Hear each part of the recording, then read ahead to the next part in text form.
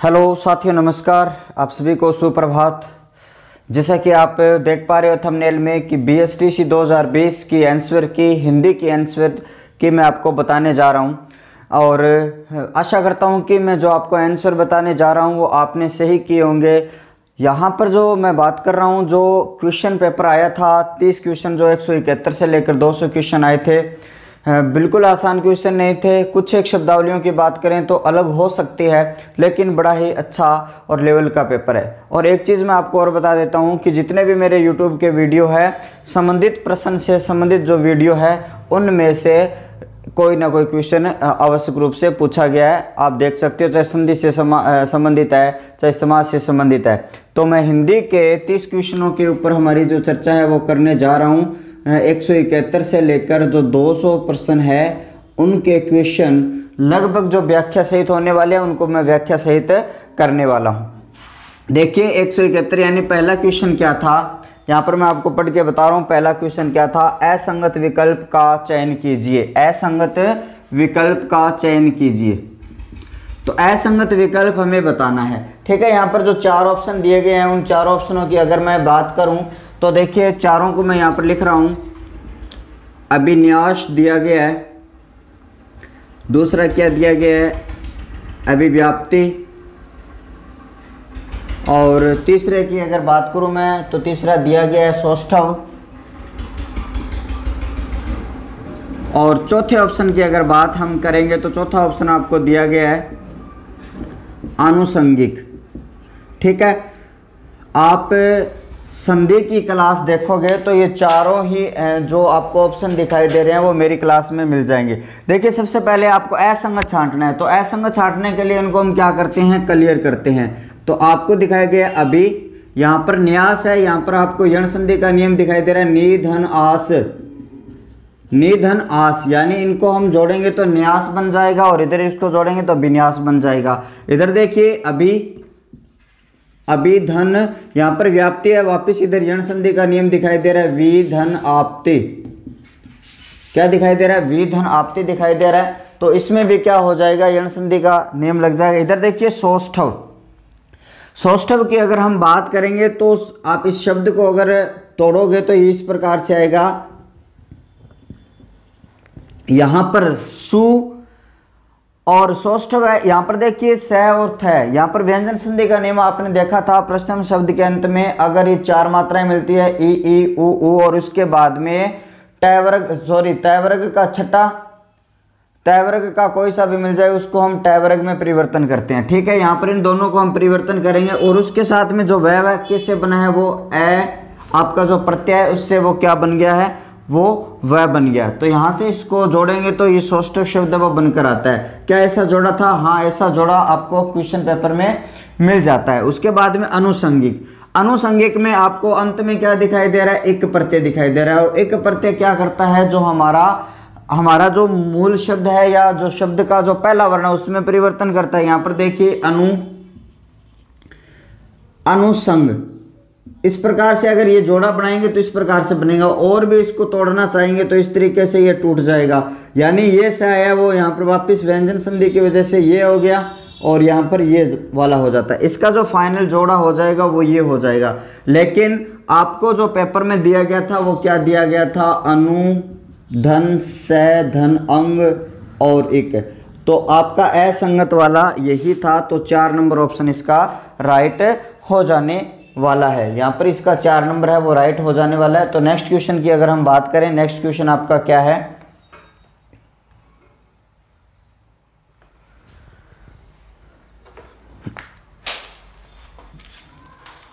तो दूसरा जो क्वेश्चन है, वो आपको ये मिलता है कि रामायण शब्द में कौन सा प्रत्यय है? रामायण शब्द में कौन सा प्रत्यय लगाया गया है? तो यहाँ पर देखिए, रामायण जो शब्द है, दूसरा जो क्वेश्चन है वो ये है, रामायण शब्द में प्रत्यय। तो यहाँ पर जब हम दीर्घ संधि की बात करते हैं तो हम लगभग यही पहला उदाहरण लेते हैं। इसमें दो प्रकार की संधियों का नियम लगता है, लेकिन यहाँ पर आ की जब मात्रा आपको दिखाई देती है तो हम इसको इस तरीके से करते हैं, राम, धन, अयन। ठीक है? अब देखिए, पहले रूप से यहाँ पर बात करेंगे तो दीर्घ संधि हो जाती है। लेकिन इस नए का जो अनय परिवर्तन हुआ, उसके लिए हम कौन से नियम लगाते हैं? व्यंजन संधि का नियम लगाते हैं कि कहीं भी प्रथम शब्द में र आ जाए और द्वितीय शब्द में कहीं भी नया आ जाए, उस रह की वजह से वो नय है, वो नय में परिवर्तन होती है दो नियम लगते हैं। और आपको प्रत्यय कौन सा पूछा गया है तो आपके ऑप्शन में यहाँ से अयन प्रत्यय है तो आपका ऑप्शन ये राइट हो जाएगा अयन प्रत्यय होगा। ऑप्शन नंबर आपका वी सही हो जाएगा। ठीक है, उसके बाद में जो तीसरा क्वेश्चन है वो क्या है? तीसरा क्वेश्चन आपसे ये पूछा गया निम्नलिखित में से कौन सा शब्द निशंक का प्रायवाची नहीं है? ये जो आपको निशंक दिया गया इसका प्रायवाची कौन सा नहीं है? तो यहाँ पर जो चार ऑप्शन में मिलते हैं, वो पहला ऑप्शन ये मिलता है आपको सुरक्षित, और इसके बाद में आपका जो ऑप्शन मिलता है, निर्भय, और इसके साथ जो निश्चित और उसके बाद में जो चौथा ऑप्शन मिलता है, वो ये मिलता है निसंग अब देखिए, आपको क्या पूछा गया, इसका प्रायवाची नहीं है। तो सुरक्षित है, निर्भय है, निश्चित है, लेकिन जो निशंग है, वो इसका प्रायवाची शब्द नहीं है तो इसका जो चार नंबर ऑप्शन है, वो राइट है, यहाँ पर हो जाता है। उसके बाद में हम नेक्स्ट क्वेश्चन की अगर बात करेंगे तो नेक्स्ट क्वेश्चन आपका है नेक्स्ट क्वेश्चन की बात हम करेंगे तो आपका 175 सॉरी 174 में क्या पूछा गया? बैठ गए तब तरु छाया में, बैठ गए तब तरु छाया में। आपका क्वेश्चन ये है तरु छाया। यहाँ पर रेखांकन नहीं किया गया चौथे क्वेश्चन की बात कर रहा हूँ, बैठ गए तरु छाया। यहाँ पर ये वाला जो क्वेश्चन आपको दिखाई दे रहा है, तरु छाया। यहाँ पर इस तरु छाया का आपको क्या पूछा गया? क्वेश्चन ये है कि तरु छाया में शुद्ध रूप होगा। यहाँ पर जो चार रूप यहाँ पर दिए गए हैं, एक तो दिया गया आपको तरु छाया। एक आपको दिया गया है सीधा, ये जो आपका ऑप्शन मिलता है तरु छाया। एक आपका मिलता है तरु छाया। और अगला जो ऑप्शन आपको यहाँ पर मिलता है, जो लास्ट ऑप्शन है, वो है तरु छाया हो गया और मात्रा बड़ी लगा दी गई है और एक में क्या कर दिया गया है? ये वाला ऑप्शन है। ठीक है, जब हम संधि के नियमों में जाएँ तो संधि के नियमों में हम जाते हैं तो आपको जो वृद्धि संधि है, उसमें आपको पता चलता है कि आपका जो प्रथम शब्द में अगर स्वर आ जाए, प्रथम शब्द के अंत में स्वर आ जाए और दूसरा शब्द का जो प्रारंभ है वो छह वर्ण से हो जाए तो हमारा जो धन का निशान है उनके बीच में चय का आगमन होता है। तो चय का आगमन है तो इस तरीके से ये तरु छाया वाला उधार आपका ऑप्शन है, वो राइट हो जाएगा। ऑप्शन नंबर जो आपका मिलता है इस क्वेश्चन के लिए, वो एक नंबर ऑप्शन है, वो यहाँ से राइट हो जाएगा। इसके बाद में हम नेक्स्ट जो पाँच नंबर क्वेश्चन की अगर बात करें थोड़ा सा टाइम ज़रूर लगेगा इस वीडियो में, लेकिन आपके एक एक क्वेश्चन वो हल होने वाले हैं। नेक्स्ट क्वेश्चन है कि प्रसिद्ध उपन्यास गोदान। तो आप तो गोदान तो पढ़ते ही आ रहे हो, पांचवा क्वेश्चन है जो ये उपन्यास आपको दिखाई दे रहा है। ये किसके द्वारा रचित है? तो हिंदी के महान कथाकार, उपन्यासकार मुंशी प्रेमचंद। तो आपका प्रेमचंद वाला ऑप्शन राइट हो जाएगा। मुंशी प्रेमचंद, इसका राइट आंसर हो। जाता है। उसके बाद में यदि मन लगाकर काम करोगे तो मैं इस वाक्य को लिख रहा हूँ, छठा क्वेश्चन है, यदि मन लगाकर काम करोगे तो तो क्या होगी? तो सफलता प्राप्त होगी तो सफलता प्राप्त होगी। तो सफलता प्राप्त होगी। आपको इसमें से वाक्य का प्रकार पूछा गया है। तो हम वाक्य के प्रकारों की बात करें तो ये वाला जो वाक्य है वो किस प्रकार का वाक्य है? वाक्य मूल रूप से प्रयोग व संरचना के आधार पर तीन प्रकार के वाक्य होते हैं, सरल वाक्य, संयुक्त वाक्य और मिश्र वाक्य। तो आपका पहला स्टेटमेंट क्या है? ये प्रधान वाक्य आपको दिया गया है। ये कथन दिया गया है प्रधान उपवाक्य। और उसी वाला क्या है? प्रधान उपवाक्य है। और उस प्रधान उपवाक्य पर ये वाला जो उपवाक्य है, वो आश्रित है।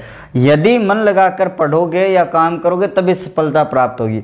अर्थात हमारा ये जो प्रधान वाक्य है, उस प्रधान वाक्य पर ये आश्रित वाक्य है। ऐसी कंडीशन हमें कौन से वाक्यों में मिलती है? मिश्र वाक्य में मिलती है। तो आपका ऑप्शन दिया गया है, साधारण वाक्य, संयुक्त वाक्य मिश्र वाक्य या ऑप्शन में जो आपका है, तीनों। तो ऑप्शन नंबर आपका यहाँ से बी राइट हो जाएगा मिश्र वाक्य के लिए। जो भी आपका ऑप्शन बनता है, वो आपका यहाँ से राइट हो जाएगा। नेक्स्ट क्वेश्चन की अगर हम बात करें तो नेक्स्ट क्वेश्चन आपका ये है, निम्नलिखित में से तत्पुरुष समास का उदाहरण आपको बताना है। निम्नलिखित में से तत्पुरुष समास का कौन सा उदाहरण है? अब सबसे पहले तत्पुरुष समास का उदाहरण आपसे पूछा गया है तो तत्पुरुष समास को जानने के लिए आपको क्या करना है? जब हम इनका विग्रह करते हैं, इनका जब हम विग्रह करते हैं तो क्या आती है? कारक की विभक्तियाँ आती है। क्या आती है? कारक की विभक्तियाँ आती है। तो कारक की विभक्ति कौन से उदाहरण में आ रही है? उदाहरण एक बार मैं आपको ऑप्शन दिए गए हैं। आशातीत, यथाशक्ति, जो पहला है, वो है आशातीत। और दूसरा है यथाशक्ति। तीसरा जो आपका उदाहरण दिया गया है प्रतिदिन, और चौथे उदाहरण की अगर बात यहाँ से मैं करूँ तो आमरण। जब हम इनका विग्रह करते हैं तो यथा यथा क्या है? एक अवयव है। यह आपका प्रतीक क्या है? एक उपसर्ग है। उपसर्ग अवयव की भांति कार्य करते हैं किसी वाक्य में। आ क्या है? आपका उपसर्ग है, वो भी क्या करता है? अवयव। अर्थात किसी भी उदाहरणों में प्रथम पद जब अवयव हो तो वो क्या होता है? अविभाव समास होता है। क्या होता है? वो अविभाव समास होता है। अर्थात दूसरा, तीसरा, चौथा तीनों उदाहरण अविभाव समास के आशातीत। और इसको जब हम करेंगे विग्रह, आशा से अतीत, यानी आशा से परे। तो ये चीज़ क्या है? पहली जो संज्ञा है वो दूसरी संज्ञा से अलग होती यहाँ पर दिखाई दे रही है और से कारक की विभक्ति आई है। कारक चिन्ह यहाँ पर आया है। तो ये वाला जो उदाहरण कौन सा हो जाएगा? तत्पुरुष समास हो जाएगा। ये आपका एक नंबर ऑप्शन यहाँ से राइट हो जाएगा। उसके बाद में हम सेकंड उदाहरण की बात नेक्स्ट क्वेश्चन की बात हम करें तो आपका नेक्स्ट क्वेश्चन ये है कि सरस का विलोम शब्द होगा। नेक्स्ट आपका जो क्वेश्चन है वो सरस का विलोम शब्द। विलोम का मतलब क्या होता है? जो विपरीत अर्थ देते हैं, उन्हें हम क्या कहते हैं? विलोम शब्द कहते हैं। विपरीत अर्थ। अब देखिए सरस का विलोम। अब देखिए इसको जब हम, इस शब्द का जब हम विग्रह करेंगे, स उपसर्ग धन रस, ये शब्द आपके सामने निकल कर आया। स क्या है आपका उपसर्ग, जिसका अर्थ क्या होता है? सहित। किसके सहित? रस सहित। लेकिन आपके ऑप्शन में क्या क्या मिलते हैं? देखिए, पहला ऑप्शन आपको दिया गया है नीरस। दूसरा ऑप्शन आपको दिया गया है निर्जल। तीसरा ऑप्शन आपको दिया गया है निरीह। और चौथा ऑप्शन आपको दिया गया है दुर्लभ। ये चार ऑप्शन आपको मिलते हैं। चारों में आपको इसका विलोम बताना है। नीरस की जब हम बात करेंगे, इसका जब हम विग्रह करेंगे तो निधन रस। ठीक है? नी का मतलब क्या होता है? रहित।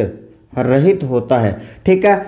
यहाँ पर तो था रस से सहित। यहाँ पर है रस से रहित। अर्थात इसका जो ऑप्शन है, वो पहला ही राइट हो जाएगा। लेकिन यहाँ पर निर्धन जल निर प्लस ए है, दुर प्लस लब। ये दो तीनों ऑप्शन है, वो क्या हो जाएँगे इसके? रोंग हो जाएँगे, गलत हो जाएँगे, ऑप्शन नंबर एक इसका राइट होगा। नेक्स्ट क्वेश्चन की बात मैं आपको यहाँ पर करूँ तो सोने में सुगंध मुहावरे का अर्थ है, ठीक है? नेक्स्ट क्वेश्चन आपका क्या दिया गया है, सोने में सुगंध? ये जो मुहावरा दिया गया इसका अर्थ हमें बताना है। सोना क्या होता है? मूल्यवान चीज़ होती है, सबसे सुंदर होती है उसमें और सुगंध, यानी जो चीज़ सुंदर है, वो उससे भी और सुंदर हो। तो ऐसा ऑप्शन आपको यहाँ पर क्या करना है? चुनाव करना है। देखिए ऑप्शन आपको है सुगंध युक्त आभूषण, सुंदर आभूषण, सुंदर वस्तु में और गुण होना, सुगंधित होना। तीसरा ऑप्शन यहाँ पर आपको दिया गया, तीसरा ऑप्शन राइट हो जाएगा, सुंदर वस्तु में और गुण होना, और गुण होना, यानी सोने में सुगंध वाली बात यहाँ से राइट हो जाएगी। इसके मुहावरे का जो अर्थ होता है, वो ये होता है, सुंदर वस्तु में और अधिक गुण होना, सोने में सुगंध होना होता है। नेक्स्ट क्वेश्चन की बात हम करें। देखिए, आपका उदाहरण क्वेश्चन क्या दिया कि अग्नि का पर्यायवाची शब्द नहीं है। देखिए क्वेश्चन ये है, अग्नि का प्रायवाची शब्द। प्रायवाची शब्द क्या होते हैं? जो अग्नि अर्थ अग्नि शब्द है, वो अर्थ देता है। ऐसा अर्थ देने वाला शब्द नहीं है। तो आपको पता चल गया, चार ऑप्शन है। तीन तो है, वो अर्थ देंगे, एक है, वो अर्थ नहीं देगा। ऐसा ऑप्शन हमें चुनाव करना है। ऑप्शन यहाँ पर पहला मिलता है मयूख। दूसरा ऑप्शन आपको मिलता है पावक। तीसरा ऑप्शन आपको मिलता है वहनी। चौथा ऑप्शन आपको मिलता है कृषाणु। ठीक है, पावक आग होता है, बहनी आग होता है, कृषाणु आग होता है। यानी जो तीन ऑप्शन आपको ये दिया जा रहा है, दूसरा, तीसरा, चौथा आग के प्रायवाच्य लेकिन जो मयुक है, वो आग का प्रायवाच्य नहीं है, ये आपसे पूछा गया है। तो ऑप्शन इसका पहला राइट हो जाएगा, लेकिन मयुक है क्या? ये जो आपकी किरण किरण होते हैं, उसका प्रायवाची शब्द है किरण, यानी अंशु, मिर्ची आदि का ये क्या है? प्रायवाची शब्द है तो इसका पहला ऑप्शन राइट होगा। नेक्स्ट क्वेश्चन की बात और करें। नेक्स्ट क्वेश्चन की बात हम करें तो क्या है नेक्स्ट क्वेश्चन आपका? कौन सा समस्त पद मध्य पद लोपी तत्पुरुष का उदाहरण नहीं है? कौन सा समस्त पद मध्य पद लोपी तत्पुरुष का उदाहरण नहीं है? आपसे क्या पूछा गया? नहीं है। ये जो समास का उदाहरण नहीं है। अब सबसे पहले हमें जानना होगा मध्य पद लोपी क्या होता है। जब हम तत्पुरुष समास की बात करते हैं तो मूल रूप से तत्पुरुष के छह प्रकार ये में पढ़ाए जाते हैं। जो हमारी जो आठ कारक की विभक्तियाँ आती हैं, उनमें से पहला और अंतिम कारक छोड़ दो। बीच के जो छह कारक होते हैं, वो छह कारक की विभक्तियाँ तत्पुरुष समास में पढ़ाई जाती है। लेकिन अन्य में जब हम पढ़ते हैं तो न्याय तत्पुरुष होता है, लुप्त पद तत्पुरुष होता है, अलुप्त तत्पुरुष होता है, उनमें आता है। मध्य मध्य पद लोपी का दूसरा नाम है, यहाँ पर आपको बताऊँ तो लुप्त पद तत्पुरुष हो जाएगा। तो आपको ये बताना है कि बीच में से कौन सा पद लुप्त हुआ है? तो ऐसा आपको उदाहरण देखना है। पहला आपका मिलता है पंचक्की। दूसरा ऑप्शन आपका है वन मानुष। तीसरा ऑप्शन आपका कौन सा है? मधुप। और चौथा ऑप्शन आपका कौन सा है? घृतान। अब देखिए, इन सब का मैं क्या करता हूँ? विग्रह करता हूँ और हमारा जो ये क्वेश्चन है, उसके हिसाब से कौन सा सही होगा? पंचक्की का तात्पर्य क्या है? पानी से चलने वाली चक्की। चारों ऑप्शनों को एक बार मैं जो विग्रह वो कर देता हूँ। वन में रहने वाला मानुष, वन में रहने वाला मानुष या मनुष्य, ठीक है, मधुप, मधु को पीने वाला, मधु को पीने वाला, ठीक है। और यहाँ पर घृतान, घृत में पका हुआ अन्न,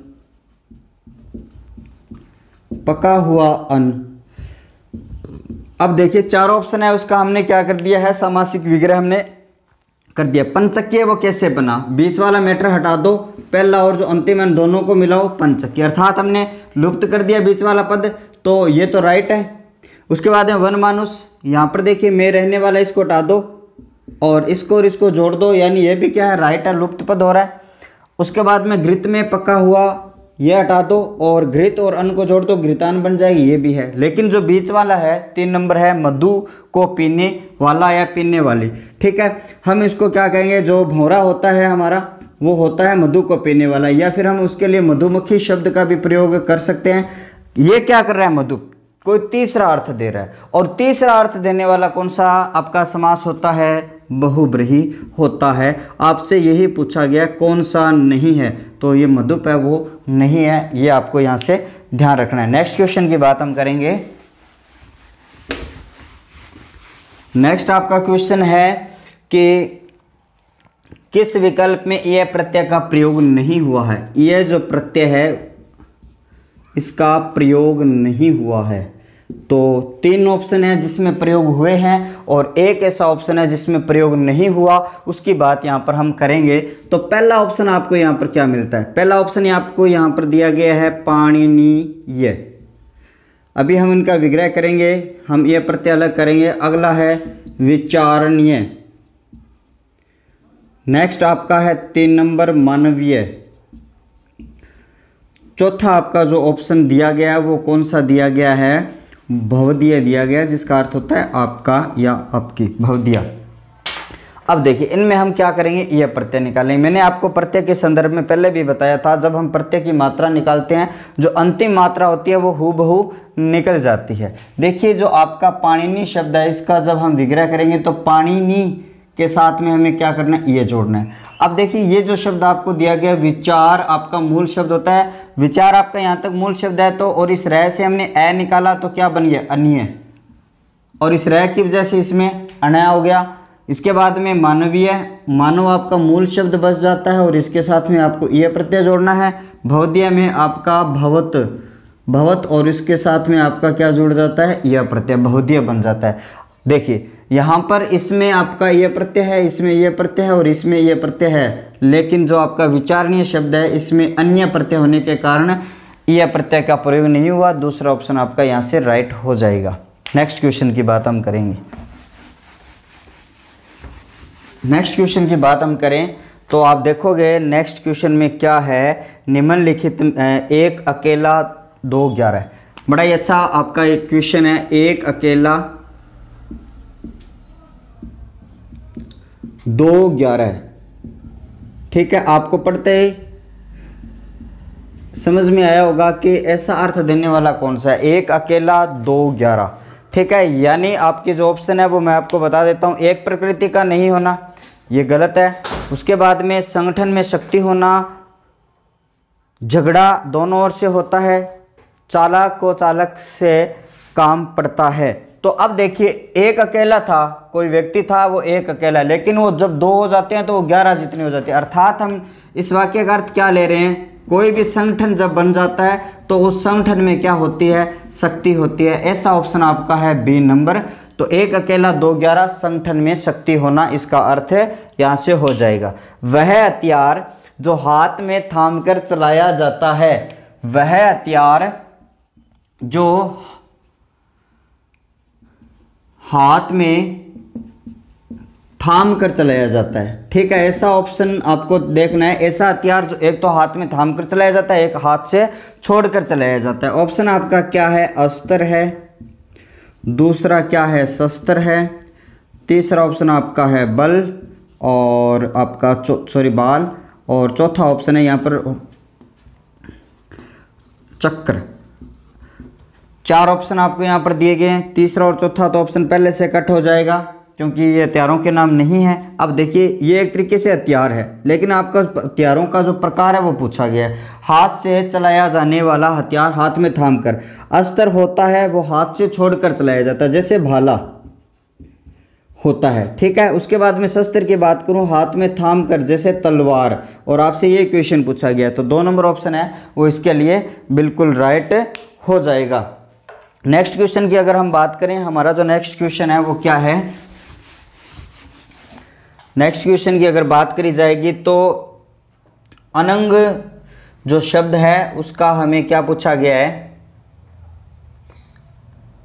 अनंग शब्द का अर्थ है। अनंग शब्द का अर्थ हमें बताना है। नेक्स्ट क्वेश्चन है आपका, अनंग शब्द।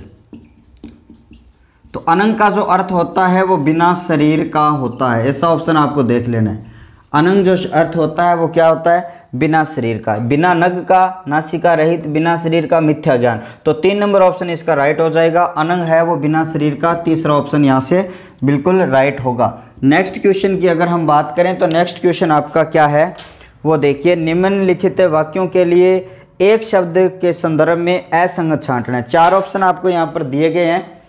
चार ऑप्शन दिए गए हैं जिसमें से तीन क्या है? सही है और एक है वो ऑप्शन आपका गलत है। उसी गलत ऑप्शन को हमें छांटना है तो उसकी बात हम करेंगे और उसका सही क्या होगा, उसकी भी बात मैं आपको बताऊँ।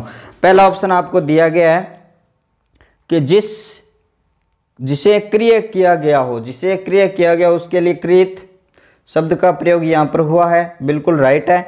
और जिसका हाथ बहुत तेज चलता हो शिप हर शिप्रहस्त, इसका भी राइट है। सुंदर और लंबे वालों वाली स्त्री विकेसिनी दिया गया है। और लास्ट क्या है? जो कृत्रिम वेश धारण कर लेता है, वो छंदमी कहलाता है। ये भी राइट यहाँ पर दिया गया तो ऑप्शन इसका जो गलत है, वो कौन सा है, वो आपको मैं यहाँ पर बताने वाला हूँ। इसका जो बीच वाला, जो तीन नंबर ऑप्शन है, वो असंगत है। तीन नंबर ऑप्शन है, वो असंगत है। कैसे है? क्वेश्चन क्या था? क्वेश्चन ये है कि सुंदर और लंबे बालों वाली स्त्री, यहाँ पर ऑप्शन में क्या दिया गया है? वी कैशिनी दिया गया है। ठीक है, ये इसका विलोम शब्द दे दिया, इधर ये रोंग हो जाएगा। इसका जो सही होगा वो क्या होगा? सु कैसिनी होगा। तो ये जो तीसरा ऑप्शन है वो इसके लिए क्या होगा? राइट होगा। असंगत आपका ये है। वी कैसिनी वाला ऑप्शन है, वो गलत है, इसका सु कैसिनी होता है, वो राइट होता है। नेक्स्ट क्वेश्चन की अगर हम बात करें तो नेक्स्ट क्वेश्चन है आपका निम्न में से अशुद्ध वाक्य का चुनाव कीजिए। अशुद्ध वाक्य को हमें छांटना है। अशुद्ध वाक्यों को। अशुद्ध वाक्यों के लिए हमें क्या क्या चीज़ें ध्यान रखनी होती है? संज्ञा, सर्वनाम, विशेषण, क्रिया, अवयव, और अनावश्यक शब्द, पद, कर्म, पद की अनुवृत्ति, वाक्य की अनुवृत्ति, सब चीज़ों का हमें ध्यान रखना पड़ता है। कारक का प्रयोग सही से किया गया है है या नहीं है उन सब का प्रयोग करना होता है। पहला वाक्य देखिए, किसी और अन्य से परामर्श लीजिए। पहला उदाहरण मैं यहाँ पर लिख रहा हूँ। किसी और अन्य से परामर्श लीजिए। देखिए, आगे जाने की आवश्यकता नहीं है। पहला जो वाक्य है, उसके ऊपर हमें ध्यान देना होगा, किसी और और अन्य। यानी ये जो दो शब्द आपको दिए जा रहे हैं, एक तो और है और एक अन्य। दोनों ही एक ही अर्थ देने वाले शब्द है। अर्थात यहाँ पर अनावश्यक शब्द का प्रयोग किया गया, अनावश्यक शब्द का प्रयोग किया गया। हमें एक शब्द का प्रयोग करना चाहे हम और का करें, चाहे हम अन्य का करें। किसी और से परामर्श लीजिए, किसी अन्य से परामर्श लीजिए, दोनों में एक शब्द का प्रयोग हमें कर लेना है। तो पहला ये ऑप्शन इसका क्या है? अशुद्ध यहाँ पर दिया गया है। बाकी तीनों ऑप्शन वो शुद्ध है। कृपया अपना वक्तव्य प्रदान कर, अनुग्रहित करें। इस शब्द के ऊपर मैं थोड़ा सा ज़ोर दूँगा, अनुग्रहित। थोड़ा सा ध्यान देना है इस वा, इस वाले उदाहरण पर आपको क्योंकि आगे ऐसा आने वाला एक उदाहरण। उसके बाद में हम सबको मानवीय दुर्लभताएँ हैं। मैं निरंतर कार्य करने के लिए अभ्यस्त हूँ। ये तीनों ही सही है ये वाला गलत है। नेक्स्ट की बात हम करें तो क्या है नेक्स्ट नेक्स्ट वाक्य की बात हम करें बाकजाल का संधि विच्छेद क्या होगा? बाकजाल का संधि विच्छेद क्या होगा? इसका हमें संधि विच्छेद जानना है। तो यहाँ पर आपको ये जो दो बीच में शब्द दिखाए जा रहे हैं, जहाँ से शब्द टूटेंगे, वहाँ पर दोनों तीन नंबर, दोनों एक नंबर, दोनों पाँच नंबर जब दिखाई देते हैं तो वहाँ पर निसंदेह विसर्ग संधि का प्रयोग किया जाता है। अब यहाँ पर दोनों तीन नंबर है, इसका मतलब यहाँ पर क्या है? व्यंजन संधि का अंक विधान का नियम लगेगा। अंक विधान की क्लास भी आप संधि वाली क्लास में जाकर देख सकते हो, प्लेलिस्ट में जाकर संधि की क्लास है वहाँ पर। अब इसका जब मैं विच्छेद करूँगा तो क्या हो जाएगा? वाक, धन, जाल। ये वाला ऑप्शन यहाँ पर मिल जाएगी। ये तीन नंबर है, इसको हम तीन नंबर करेंगे तो क्या हो जाएगा? ये तीन नंबर हो जाएगा और क्या बन जाएगा? वाक, जाल। ये ऑप्शन पहला का पहला सही है, लेकिन एक ऑप्शन ये भी आपको दिया गया वाक, धन, जाल। तो यहाँ पर जो है वो यहाँ से गलत हो जाता है, यहाँ पर हलंत वाला ही सही होगा। तो इस ऑप्शन को आपका चुनाव नहीं करना है। तो मेरे आपका पहला ऑप्शन यहाँ से बिल्कुल राइट होगा। विद्याधन में कौन सा समास है? विद्याधन। ठीक है, आप समास के क्लास में भी मैंने बताया है, विद्याधन में कौन सा समास है? विद्याधन में कौन सा समास है? ऑप्शन में आपको दिया गया है कर्मधार्य, तत्पुरुष, अविभाव और द्वंद्व। क्रमधार्य क्या होता है? जिसमें पहला पद विशेष विशेषण होता है, दूसरा पद विशेष्य होता है, और उसमें रूपी के समान, सम, सा आदि शब्दों का प्रयोग किया जाता है। तत्पुरुष में कारक की विभक्तियाँ होती है। अभी अविभाव समास होता है। उसमें पहला पद अवयव, उपसर्ग आदि होते हैं। द्वंद्व समास में दोनों पद प्रधान होते हैं। बीच में और तथा एवं का प्रयोग किया जाता है। तो आपका विद्याधन है, उसका मैं क्या कर रहा हूँ? विच्छेद कर रहा हूँ, विग्रह कर रहा हूँ। विद्यारूपी धन। विद्यारूपी धन। तो मैंने आपको ये भी बताया था, रूपी शब्द का जब प्रयोग किया जाता है तो वो समास कौन सा होता है? कर्मधारीय समास होता है। धन, विद्या धन, रूपी। ठीक है, उसमें पहला ये ऑप्शन आपका राइट हो जाएगा। नेक्स्ट है, कवि का स्त्रीलिंग शब्द। ठीक है, ये जो उदाहरण है, वो हर परीक्षा में पूछा ही जाता है, कवि का जो स्त्रीलिंग शब्द है, वो कौन सा होता है? तो मैं आपको बता दूँ, कवि का जो स्त्रीलिंग शब्द है, वो कवियत्री होता है। कवियत्री आपका, कवि का स्त्रीलिंग शब्द होता है, न कि आपका कवियत्री। तो ये वाला जो ऑप्शन है, वो गलत है, ये वाला ऑप्शन है, वो राइट है। ऐसा ऑप्शन आपको कहाँ पर मिलता है? तीन नंबर सी में आपको मिलता है। कवि का जो स्त्रीलिंग है, वो कवियत्री ही होता है। नेक्स्ट क्वेश्चन नेक्स्ट क्वेश्चन की बात हम करें कि वाक्यांश के लिए एक शब्द के संदर्भ में संगत को चुनिए। वाक्यांश के लिए एक शब्द के लिए जो संगत कथन है, जो सही कथन है, उसका हमें चुनाव करना है। देखिए, अब मैं आपके एक एक ऑप्शन पर जिसकी इप्सा की गई हो। पहला ऑप्शन क्या है? जिसकी इप्सा की गई हो, जिसे हम कहते हैं इप्सित। इप्सित कहते हैं, लेकिन यहाँ पर दिया गया ईशान। तो ये वाला जो ऑप्शन है, वो रोंग है। दूसरा ऑप्शन देखिए क्या है। दूसरा ऑप्शन है जो छाती के बल चलता है। जो छाती के बल चलता है, वो उर्ग होता है। उर मतलब छाती गय मतलब गमन करना। जो छाती के बल चलता है, वो क्या होता है? सांप होता है। लेकिन यहाँ पर ऑप्शन यहाँ पर क्या दिया गया है? ऑप्शन आपको दिया गया है उत्क्षिप्त और उत्क्षिप्त का मतलब क्या होता है? फेंका गया। ये भी क्या हो जाएगा? गलत हो जाएगा। तीसरे ऑप्शन की बात हम करें, तीसरा ऑप्शन क्या है? जिसकी दोनों पक्षों में निष्ठा हो। जिसकी दोनों पक्षों में दोनों मतलब उभ्य, निष्ठा मतलब निष्ठ। उभ्य निष्ठ यानी जिसकी दोनों पक्षों में निष्ठा, उसे उभ्यनिष्ठ कहते हैं। तीसरा ऑप्शन यहाँ पर हमें राइट मिल जाता है। उसके बाद में चौथा ऑप्शन है, जो अच्छे कुल में उत्पन्न हुआ हो, जो अच्छे कुल में उत्पन्न हुआ, उसे हम कुलीन कहते हैं। कुलीन शब्द का आना चाहिए था, लेकिन यहाँ पर कृतार्थ दिया गया है। कृतार्थ यहाँ पर क्या होता है? गलत होता है। जो अच्छे घर में जन्म लेता है, वंश में जन्म लेता है, उसे हम कुलीन कहते हैं। तो ऑप्शन नंबर तीन, उभ्यनिष्ठ वाला राइट हो जाएगा। देखिए नेक्स्ट देखिए, निम्नलिखित शब्दों की वर्तनी शुद्ध है। अभी मैं थोड़ी देर पहले आपको एक शब्द बता के गया था, जिसका वाक्य दूसरा क्या था? दूसरा वाक्य ये था, कृपया अपना वक्तव्य प्रदान कर, अनुग्रहित करें। तो वो अनुग्रहित शब्द का हमें ध्यान रखना था। वही आपसे पूछा गया है, शुद्ध वाक्य, शुद्ध शब्द आपसे पूछा गया जिसकी वर्तनी क्या हो? शुद्ध हो। जिसकी वर्तनी शुद्ध हो। पहला आपका ऑप्शन है, अनुग्रहित। दूसरा आपका ऑप्शन है, दूसरा आपका ऑप्शन दिया गया है इस साइड में, हमें देखना है अनुग्रहित अनुग्रहित। और तीसरा ऑप्शन हमें दिया गया है अनुग्रहित, और जो चौथा ऑप्शन दिया गया है, जिसको मैंने पहले लिखा था, अनुग्रहित। ये ऑप्शन देखिए, ये ऑप्शन बिल्कुल इसका राइट होगा। तीनों शब्दों की जो वर्तनी है, वो क्या है? अशुद्ध है, ये गलत है। और अनुग्रहित शब्द की वर्तनी, वो बिल्कुल राइट है। देखिए, इसमें शब्द क्या है? ग्रह वो मूल शब्द है। ग्रह वो क्या है इसका? मूल शब्द है। और ईत प्रत्यय का प्रयोग यहाँ पर किया गया। जैसे हम ईत प्रत्यय लगाएँगे तो यहाँ पर जो है, वो गृहित बन जाएगा। गृहित बन जाएगा और अनुपसर्ग इसके साथ में जोड़ देंगे। ये शब्द हमारे प्रकृति, इस तरीके से हो जाती है। नेक्स्ट क्वेश्चन को देखते हैं। निम्नलिखित में से संधि के संबंध में सही विकल्प का चयन करिए। चारों जो उदाहरण है, मैं यहाँ पर नोट कर रहा हूँ। एक एक उदाहरण को हम क्लियर करने वाले हैं। कौन सा उदाहरण है, वो किस तरीके से होगा? पहला जो उदाहरण है आपका, वो है परिविसर्गकार उसके बाद में दूसरे ऑप्शन की बात हम करें तो जो दूसरा ऑप्शन है प्रोज्वल प्रोधन उज्ज्वल, ज्वल लिखा गया, यहाँ पर इसका लिखा गया परिष्कार। और यहाँ पर क्या लिखा गया है? प्रोज्वल लिखा गया है। तीसरा ऑप्शन यहाँ पर क्या लिखा गया है? कृपा धन आचार्य। और यहाँ पर जो इसका उत्तर लिखा मिलता है, वो कृपाचार्य मिलता है। ठीक है, उसके बाद में जो चौथा ऑप्शन आपको दिया गया है निधन स्तुर और इसका मिलता है आपका निष्ठुर। तो चारों ऑप्शनों के ऊपर हमें ध्यान देना है कौन सा शुद्ध आपका जोड़ा है। देखिए, प्रे प्रे आपका क्या होता है? एक उपसर्ग होता है। तो इसके साथ में विसर्ग तो आ नहीं सकते। और विसर्ग आने के बाद में ये सह का जो आगमन होता है वो क्रि कर कार करी धातु के संदर्भ में अगर ई की मात्रा मिलती है तो इस स का आगमन करते हैं, मूर्धन्य स का आगमन करते हैं। तो ये वाला जो जोड़ा है वो गलत है। इसका ये तो सही है, लेकिन ये गलत है। प्रो उज्ज्वल में ये इसका संधि विच्छेद है, वो गलत किया गया है। तो इसका क्या हो जाएगा? प्र उज्ज्वल इसका राइट हो जाएगा। तो ये भी क्या है? असंगत है।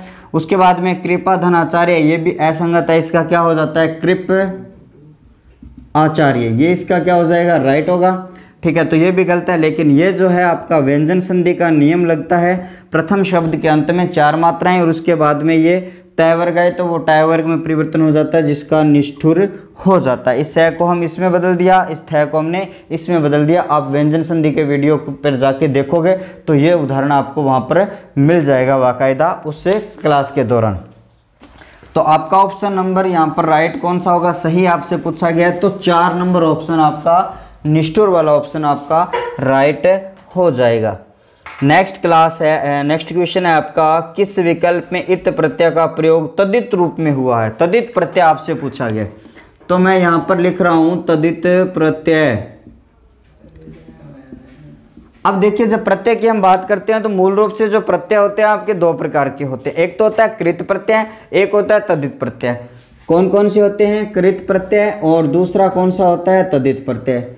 ठीक है? प्रत्यय हो या उपसर्ग वो हमेशा किसके साथ जुड़ते हैं? हमेशा विकारी शब्दों के साथ जुड़ते हैं। और विकारी शब्द कितने होते हैं? चार होते हैं। कौन कौन सा पहला? संज्ञा। सर्वनाम। तीसरा विशेषण। और चौथा आपकी होती है क्रिया। ठीक है, ये चार विकारी शब्द होते हैं। उनके साथ में क्या जुड़ते हैं? प्रत्यय जुड़ते हैं। तो अब आपको बताना है, कृत कौन सा होता है, तदित कौन सा होता है। थोड़ा सा मैं आपका कॉन्सेप्ट क्लियर करवाने की कोशिश कर रहा हूँ। जब जब संज्ञा सर्वनाम विशेषण के साथ में कोई भी प्रत्यय जुड़ता है तो उस प्रत्यय को तदित कहा जाता है। किसी भी धातु के साथ, क्रिया के साथ में कोई भी प्रत्यय जुड़ता है तो उसे क्या कहा जाता है? कृत प्रत्यय कहा जाता है। अब आपसे क्या पूछा गया? क्वेश्चन में तदित प्रत्यय। अर्थात वो संज्ञा सर्वनाम विशेषण के साथ जुड़ेगा तो आपका जो ऑप्शन है, वो चारों ऑप्शनों को मैं यहाँ से नोट डाउन कर रहा हूँ और आपको भी ध्यान देना है। पहला ऑप्शन क्या है? मापित। सब में इत प्रत्यय लगा हुआ है। अभी मैं इनको अलग करने वाला हूँ और उसके बाद में आपका प्रत्यय है लिखित और उसके बाद में आपका है याचित। ठीक है, उसके बाद में जो आपका चौथा ऑप्शन है, वो है क्या दुखित। चारों ऑप्शनों को हम क्या करेंगे? अलग अलग तरीके से इनका विग्रह हम करने वाले मापित में माप धातु के साथ में इत जोड़ा गया है। लिख धातु के साथ में इत जोड़ा गया है। याच धातु के साथ में इत जोड़ा गया है। लेकिन यहाँ पर जो निकल कर आता है, दुख संज्ञा के साथ में इक जोड़ा गया। अब ये तो संज्ञा, ये धातुएँ हैं। अब धातुएँ हैं तो आप इसकी क्रिया बनाओ। माप से मापना बनती है, क्या बनती है? लिख से क्या बनती है? लिखना बनती है। याद से याचना बनती अर्थात ये तीनों क्रियाएँ हैं। अर्थात ये जो तीनों उदाहरण है, आपके किसके है? कृत प्रत्यय के। लेकिन आपसे तदित पूछा गया तो ये है, इसका दुख ना थोड़ी बनेगा। इसका दुख ना बनेगा क्या? नहीं बनेगा। तो अपने आप में ये संज्ञा इसके साथ एक जोड़ा दुखित बन गया। आपसे क्या पूछा गया है? ये पूछा गया है। तो आपका चार नंबर ऑप्शन है इस क्वेश्चन के लिए राइट होगा। समझ में आ रहा है तो मुझे कमेंट करके ज़रूर बताओगे प्लीज़ जिनके समझ में आ रहा है और जिनके सही हो रहे हैं वो भी मुझे कमेंट करके लिखोगे कि सर मेरे इतने सही हुए। आ, आ, मैं आशा करता हूँ ऐसा पेपर है जिसमें आपके सत्ताईस अट्ठाईस क्वेश्चन सही हो सकते हैं और आप अगर थोड़ा सा शब्दों का नॉलेज और धैर्य के साथ इस परीक्षा को करते हो तो मेरे हिसाब से तीस के तीस क्वेश्चन है सही होने वाले थे। कुछ एक शब्दों को छोड़ दिया जाए तो बाकी जो पेपर था बड़ा ही अच्छा शानदार अच्छा पेपर आया था आपके लिए। नेक्स्ट क्वेश्चन की अगर मैं बात करूँ, अवधूत का अर्थ क्या होता है? अवधूत। थोड़ा सा आप साहित्य का नॉलेज रखते हो तो मैं आपको अज्ञ जी के बारे में बताता हूँ। अज्ञ जी की जो असाध्य बीणा है हिंदी वाले बच्चे इस बात को ज़्यादा समझेंगे। उनकी एक कविता है असाध्य वीणा। उस असाध्य वीणा कविता में आपका जो अज्ञ जी है, उनके लिए अवधूत शब्द का प्रयोग किया अवधूत, वहाँ पर वो क्या होते हैं? मस्त से होते हैं और कविताएँ करते हैं, भजन करते हैं। ठीक है, इस तरीके से मस्त और जो फक्कड़ स्वभाव का व्यक्ति होता है, उसको क्या कहा जाता है? अवधूत कहा जाता है। ये अवधूत असाध्य वीणा में अज्ञ जी को कहा गया था। हिंदी साहित्य के बच्चे इस बात को भली भांति से जानते होंगे, जिन्होंने ऐसा देवीणा, सतीदानंद, हीरानंद, वात्सायन, अज्ञ जी की जो कविता उन्होंने पढ़ी है। तो नेक्स्ट बात मैं यहाँ पर करूँ, निम्नलिखित में से कौन सा शब्द है, वो निरुपसर्ग से नहीं बना। ठीक है, अब देखिए ऑप्शन आपका है निर्वचन। आपका क्या पूछा गया निर उपसर्ग से नहीं बना है। तीन ऑप्शन में बना है, चौथा ऑप्शन नहीं बना होगा। यानी एक ऑप्शन ऐसा है। पहला ऑप्शन है निर्वचन। तो आपको दिखाई दे रहा है, ये तो बना है। दूसरा ऑप्शन आपका क्या दिखाई दे रहा है? दूसरा ऑप्शन आपका ये है निर्वाह। निर्धनवाह, ये भी बना है। उसके बाद में तीसरे की बात करूँगा तो निरत। अब देखिए, नीरत, निधन रत, जो रत नहीं है तो ये नहीं बना है। चौथा ऑप्शन क्या है? नि निर्मूल।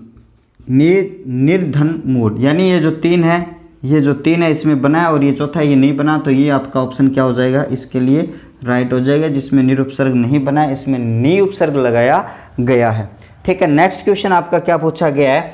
नेक्स्ट अशुद्ध शब्द का चयन कीजिए। वापिस हम शब्द शुद्धि की ओर जाएँ तो अशुद्ध शब्द है, उसका प्रयोग हमें देखना है। ठीक है चार ऑप्शन मैं आपका लिख रहा हूँ अशुद्ध शब्द। कौन सा? पूछा क्या गया? अशुद्ध शब्द बताना है। ऑप्शन आपका है पीड़ित। दूसरा ऑप्शन आपका कौन सा है? दूसरा ऑप्शन है आपका जड़मती। जड़मती हुई सुजान। ठीक है, तीसरा कौन सा ऑप्शन है आपका? योगरूढ़। योगरूढ़, आप शब्दों के प्रकार में योगरूढ़ शब्द को पढ़ते हो। और चौथा ऑप्शन आपको दिया गया है निरोगी। ठीक है आपका क्या पूछा? अशुद्ध शब्द, पीड़ित शुद्ध है जड़मती शुद्ध है, योग रूढ़ शुद्ध है। लेकिन निरोगी शब्द है, वो देखने में शुद्ध लगता है। निरोगी शब्द है, वो देखने में शुद्ध लगता है। लेकिन लेकिन शब्द शुद्धि की दृष्टि से अशुद्ध शब्द होता है। ये मैं निरोग शब्द को बारी बारी से बता रहा हूँ। निरोग शब्द से निरोगी बना है, इसमें ये प्रत्यय लगाने से। अब देखिए, निविसर्ग रोग इसको जब बनाएँगे तो यह रह में बदलेगा, लेकिन रह के ऊपर रह नहीं बैठता तो निरोग हो जाता है, उसमें ई प्रत्यय लगा दो निरोगी। तो ये शब्द आपका क्या है? अशुद्ध है। ये शब्द आपका यहाँ पर परीक्षा में अशुद्ध आपसे पूछा गया। ऑप्शन नंबर चार यहाँ से बिल्कुल राइट होगा। नेक्स्ट क्वेश्चन की बात मैं यहाँ पर करूँ। नेक्स्ट क्वेश्चन की बात मैं यहाँ पर करूँ तो आपका प्रश्न ये है, द्वंद्व समास के भेदों के संदर्भ में असंगत है। द्वंद्व समास का जो कथन दिया गया है द्वंद्व समास के लिए। असंगत आपको बताएँ। द्वंद्व समास दोनों पद प्रधान हो, तीन प्रकार के होते हैं। समाहार द्वंद्व, विकल्प द्वंद्व, इतरेत्र द्वंद्व। देखिए ऑप्शन में क्या है? गंगा, यमुना, इतरेत्र द्वंद्व। बिल्कुल राइट है। गंगा और यमुना, इतरेत्र द्वंद्व होता है, ये राइट है। उसके बाद में आपका है दूसरा ऑप्शन कृष्ण अर्जुन वैकल्पिक द्वंद्व। इसको मैं एक बार यहाँ पर नोट कर रहा हूँ। कृष्ण अर्जुन। इसका जब हम विग्रह करेंगे तो कृष्ण और अर्जुन आता है, लेकिन यहाँ पर वैकल्प कहाँ है? और है। और का मतलब इतरेतर। दोनों को अलग अलग कर रहा है। तो ये क्या होता है? इतरेतर होता है। लेकिन ऑप्शन में आपको क्या दिया गया है? वैकल्पिक दिया गया तो ये यहाँ पर गलत दिया गया था। ऑप्शन नंबर इसका दो राइट होगा। लेकिन आगे क्या है? इकहत्तर द्वंद्व इतरेतर द्वंद्व है। एक और सत्तर। क्या होता है? इकहत्तर होता है। और शब्द आ गया बीच में। बाल बच्चा, ये संबंध, बाल बच्चा का समूह बाल बच्चा आदि, ये संबंध, समूह को प्रदर्शित करता है, ये समाहार द्वंद्व है तो आपका ऑप्शन नंबर दो राइट होगा द्वंद्व समास में। बाकी ये मेरा जो द्वंद्व क्लास वाली वीडियो है, वो आप आराम से देख सकते हो, सभी उदाहरण आपको मिलने वाले हैं। जितने मैंने क्लास लगाई है हिंदी व्याकरण की, जिसमें मेरी क्लास में से अगर जैसे संधि है, समास है, उपसर्ग है, प्रत्यय है या और भी आपके जो उदाहरण आए हैं, मेरी क्लास में आप जाके देखोगे तो आपको बेशक टॉपिक तो मिलने वाले है ही है। उसके साथ में जो प्रॉपर आपके जो उदाहरण है, वो भी आपको मिलने वाले हैं। नेक्स्ट क्या है? अंधे की लकड़ी, मुहावरे का अर्थ। अंधे की लकड़ी, देखिए। अंधे की लकड़ी आप पढ़ते ही इसका उत्तर समझ गए होंगे। कोई अंधा व्यक्ति है, उसकी लकड़ी होती है, वो सहारा होती है। मतलब जो लकड़ी होती है, वो क्या होती है? अंधे आदमी का एकमात्र सहारा होती है। तो आपको इसका अर्थ पूछा गया है तो एकमात्र सहारा ऑप्शन नंबर सी इसका राइट हो जाएगा। ऑप्शन नंबर सी इसका राइट हो जाएगा। अंधे की लकड़ी एकमात्र सहारा। नेक्स्ट क्वेश्चन नेक्स्ट क्वेश्चन क्या है? देखिए लास्ट क्वेश्चन मैं आपको पढ़ रहा हूँ। 200 नंबर क्वेश्चन निम्न में से कौन सा शब्द परिउपसर्ग से बना है? परिउपसर्ग। अभी मैं आपको बता रहा था, परिधनकार। परिधनकार में परिउपसर्ग था, लेकिन यहाँ पर विसर्ग लगा दी तो ये उदाहरण गलत हो गया था। विसर्ग का उदाहरण नहीं है, ये व्यंजन संधि का उदाहरण था। परिउपसर्ग से जो शब्द बना है, वो परिधन धी से बना है। परिधन धी से बना है, ये पहले उदाहरण। उसके बाद में दूसरा है वो है प्राकाष्ठा, जिसमें परा लगाया गया, प्रा उपसर्ग के साथ में प्राकाष्ठा लगाया गया, ठीक है?